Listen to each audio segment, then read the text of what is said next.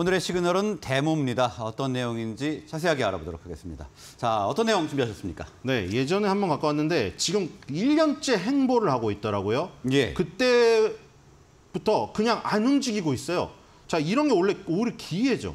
지금 일단 미국의 캐터필러는 어제도 올랐고 디오도 어제도 올랐고 농기계니 기계니 뭐 중, 중소 건설기계, 대형 건설기계 너무 좋아요. 이게 미국이 미국에 워낙에 지금 엔비디아가 워낙 강해서 그런데 건설 기계 쪽도 상당히 좋아요. 주가가.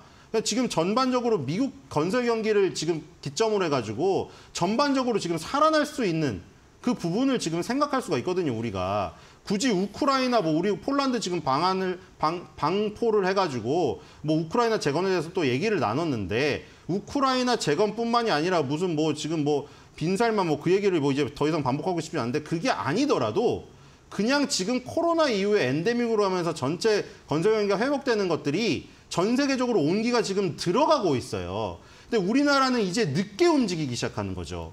이미 뭐 사실 HD 현대건설 기계라던가 두산바켓이라던가 이런 건설 기계는 움직였어요. 그러니까 건설 기계가 움직이면 거기에 이제 부품이 움직일 거 아니에요. 우리 똑같은 논리잖아요. 조선주에서 조선 3사가 움직였더니 그 다음에 뭐가 갔어요? 보냉제 만드는 업체, 피팅 업체가 나중에 움직이잖아요. 사이클이. 네. 그게 수주를 받은 조선사가 거기에 또 발주를 하니까 그렇게 되는 거고 이것도 똑같은 거예요. 건설 기계가 건설 기계가 많이 뭐 예를 들어 굴착기가 많이 발주를 받았다. 그러면 그게 밑으로 이제 낙수 효과로 부품으로 이어지겠죠. 바로 데모가 예전에 데모 엔지니어링이었어요. 거기 앞에 붙이는 어태치먼트를 만들어 주는 거죠. 우리가 굴착기는 뭐 삽을 삽으로 이제 뭐 흙을 파는 거지만 그거 이해도 용도가 필요한 데가 많잖아요. 콘크리트를 때려 부셔야 될 때도 있고 고철 덩어리를 집어 가지고 치워야 될 때도 있고 그런 것들을 이제 바꿔 껴야 됩니다. 그러니까 이게 경기가 안 좋을 때는 예를 들어 중국한테 여기도 많이 당하게, 당하고 있는데 경기가 안 좋을 때는 이른바 단가 후려치기를 많이 당해요. 반도체도 그거 다 똑같잖아요. 소부장들의 약점이 그거잖아요. 어려울 때 이 최종 end 업체가 갑질을 하잖아요. 밸류체인상 갑에 있으니까.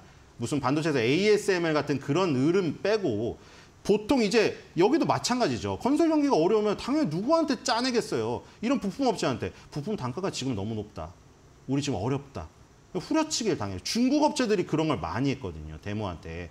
그래서 뭐 얘네는 처음에 판게 그래서 인도를 팠어요.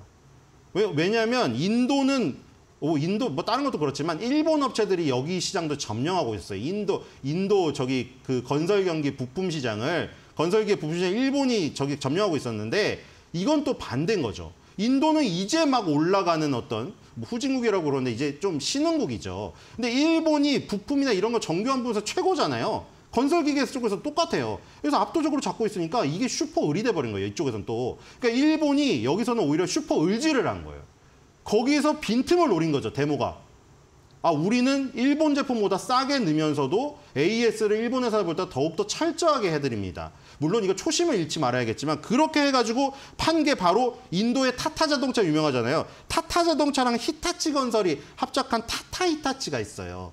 여기를 주력으로 잡으면서 인도를 물면서 완전히 세계화의 발판을 마련했거든요. 그리고 미국 중장기업체 BTI 그리고 우리나라 HD 현대건설 기계 뭐 주력으로 이렇게 다 갖고 있습니다. 중국에서는 갑질을 당해서 조금 줄었죠. 하지만 중국과 인도 중에 인도를 먹었으니까 이 부분이 중국을 상쇄하는 부분이고 어쨌든 간에 지금 중요한 건 타이밍이다.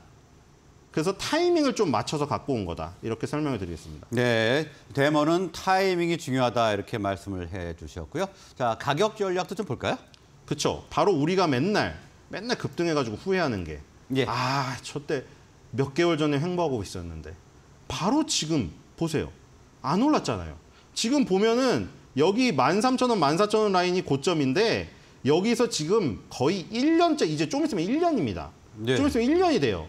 여기 지금 횡보를 하고 있잖아요. 만약에 이게 시세가 약하면 이 밑으로 꺾여야 돼 이렇게. 근데 이게 횡보하고 있잖아요. 급등 후에 횡보하고 있기 때문에 이 박스권을 돌파하면 혹은 돌파할 시에 급등이 나오게 돼요. 우리 저기 지금 약 1분 정도 있을 것 같으니까 여- 이 시간에 바로 한 자, 이거 보세요. 어떻게 됐어요? 또 확률에 걸었더니 성공했잖아요. 네오셈이라는 물론 업종은 네. 다 업종은 다르잖아요. 기술적인 동등성 동등을 보는 거예요. 이때도 설명했잖아요. 얘네는 분명히 얘는 3년째 횡보를 하고 있었어요. 근데 3년 동안의 매물을 돌파하려면 여기 그때 여기 그렸네요. 그대로 지금 흔적이 남아 있습니다. 요런 식으로 급등이 나와야 된다고 여기 이건 내, 제가 그린 거예요 그때. 이 네모를 요런 식으로 그렸잖아요. 요렇게 나와야 된다고 실제로 나와 버렸잖아요. 이렇게. 그러니까 이런 거예요. 오랫동안 행보를 해말수록 매물이 강하니까 그걸 뚫으려면 갭상승 아니면 급등이 나와야 돼요. 이걸 뚫으려면 네오센보다는 짧죠 기간이. 그래서 만약에 이런 식으로 나와야 이걸 돌파할 수 있다는 거죠. 막 이것도 나중에 또 확인이 되겠지만 이렇게 그, 그려놓은 거안 없어지니까요. 제가 일부러 이걸 지우지 않는 한 그 전께 남아 있어요. HTS는 여기도 그대로 놔둘게요. 만약에 나중에 이게 뭐 또 확률적으로 걸었는데 성공한 케이스가 된다고 하면 다른 거 비슷한 거 찾아서 올 때 이런 거를 또 시범 케이스로 보여드릴게요. 네. 그러니까 이런 식으로 지금 진행이 될 가능성이 확률이 높다. 지금 여러 가지를 기술적인 것만 분석한 게 아니라 여러 가지를 했잖아요. 지금 건설업계 현황이라던가 예, 다른 걸 눌러버렸네요. 그래서 어쨌든 지금 요거 이 지금 행보하는 구간에 사는 게 행복할 수가 있다. 급등하기 전에. 그래서 이게 만약에 이 급등을 해서 이 장대 양봉이 나오게 된다면 2만 원 선까지도 산- 순식간에 갈 가능성이 있죠.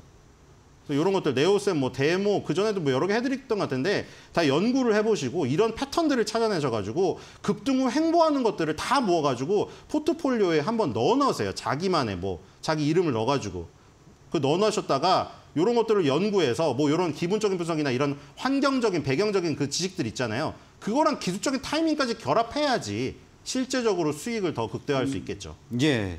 자, 데모 거의 1년간 횡보를 하고 있는데요. 이 박스권을 돌파하면 좋은 흐름이 나올 수 있다. 이렇게 정리를 해보겠습니다.